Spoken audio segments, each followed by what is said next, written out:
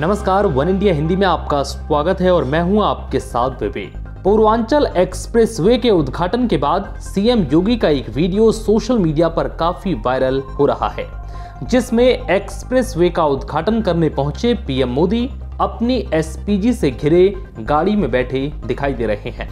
तो वहीं सूबे के मुख्यमंत्री योगी आदित्यनाथ पीएम मोदी की गाड़ी के पीछे पैदल चलते नज़र आ रहे हैं।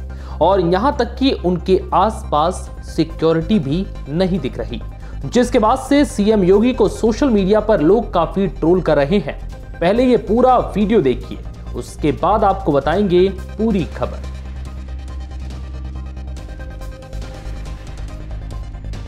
इस वीडियो के वायरल होने के बाद पूर्व सीएम अखिलेश यादव ने तंज कसा। पीएम मोदी की गाड़ी के पीछे चलते सीएम योगी का वीडियो ट्वीट करते हुए समाजवादी पार्टी के अध्यक्ष अखिलेश यादव ने लिखा, तुमने हमारी आव भगत का अच्छा सिला दिया। जनता से पहले तुमने ही हमें पैदल करा दिया। बड़े बेआबरू होकर इन सड़कों से हम गुजरे।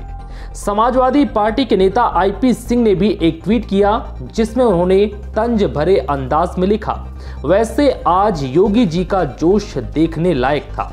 अगर प्रधानमंत्री की गाड़ी चलती रहती तो योगी जी पैदल ही गाजीपुर तक पहुँच जाते।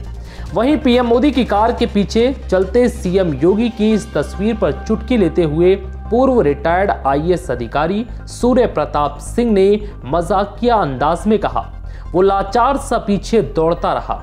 आखिर क्यों? वहीं एक अन्य पोस्ट पर पूर्व आईएएस ने कहा, बाबा तो पैदल हो गए कांग्रेस के नेता श्रीनिवास ने भी तंज कसा और श्रीनिवास बीवी ने लिखा 2022 की तस्वीर। फ़िलहाल इस वीडियो में इतना ही। नमस्कार।